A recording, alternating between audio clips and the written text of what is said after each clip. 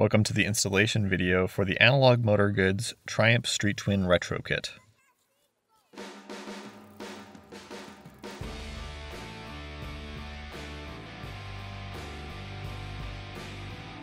Included in the kit, you get the Analog Motor Goods Triumph Street Twin Retro Kit and all the necessary hardware included for installation.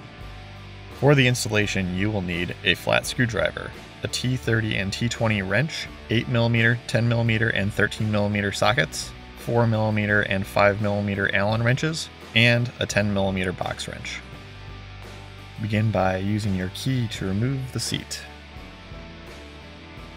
Use the flat screwdriver to loosen the tabs holding the rear lighting wiring harness and seat cable to the fender. Disconnect the stock taillight wire harness by pulling small tab inside socket outward and gently pulling out harness socket. Using the T30 wrench, loosen the four bolts attaching the fender to the chassis. Leave one of the bolts in slightly to support the fender.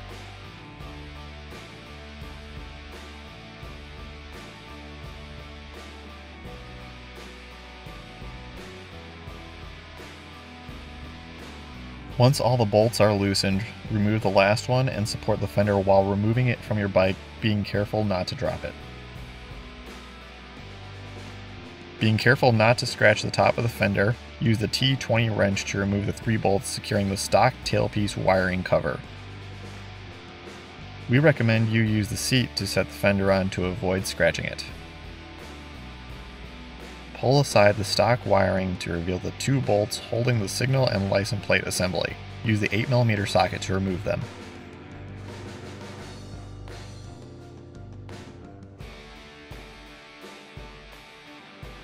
Lift out the fender liner, being mindful of the wires underneath. Disconnect the stock taillight harness connector.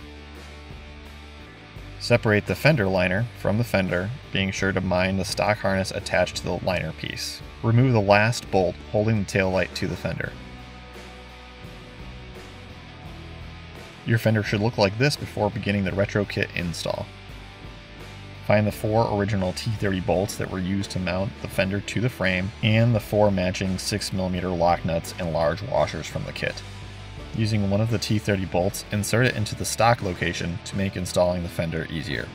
Position the fender and begin threading the nuts and washers onto the original T30 bolts in order to secure the fender loosely to the bike.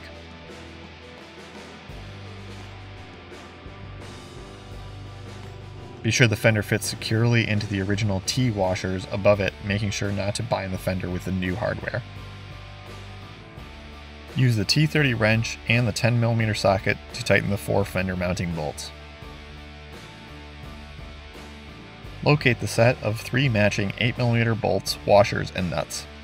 Starting with the center hole, use the hardware to loosely attach the kit to the fender.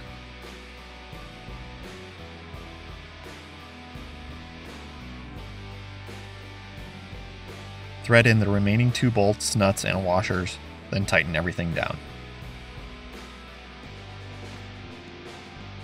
Position the RetroKit wire loom along the left side of the frame and use the zip ties to secure it. Also reattach the seat release cable snap.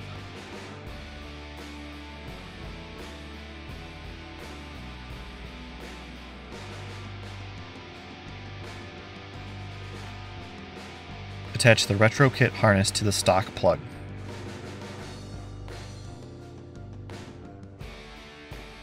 Test turn signals, hazards, running light, and brake light before moving on to the next step.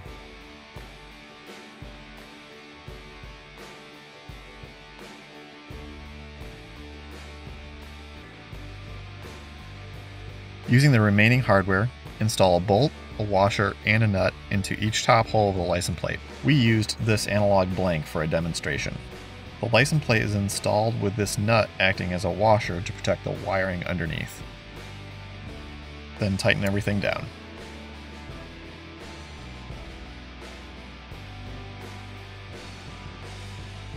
With the two bolts in the top of the plate, mount the plate to the retro kit. Use a washer between all bolts and the locking nuts securing the plate.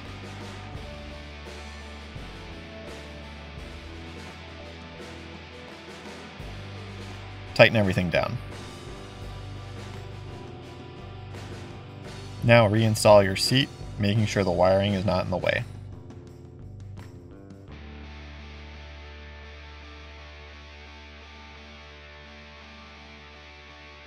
Now get out and ride your bike.